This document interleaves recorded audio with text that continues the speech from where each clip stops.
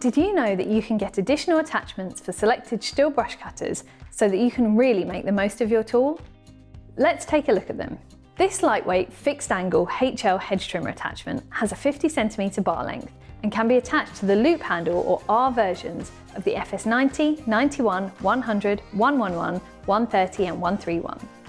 If you want the flexibility of an adjustable hedge trimmer head, this HL145 attachment is a good option for these FS models too.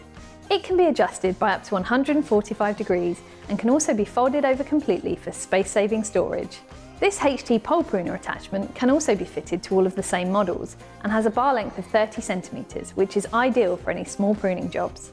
The FH145 scrub cutter is a useful attachment that can be fitted to the FS91, 111 and 131 bike handle brush cutters. This is great for ground pruning and mowing in confined spaces and can be adjusted by up to 145 degrees too, making it particularly well suited to mowing banks and verges. Finally, the new RG cutting head is brilliant for effective and efficient weed control and grass trimming, with a cutting action similar to that of a hedge trimmer. The low spin mowing means you can work with reduced safety distances compared to traditional cutting heads, which is useful when you are mowing alongside roads or around traffic islands.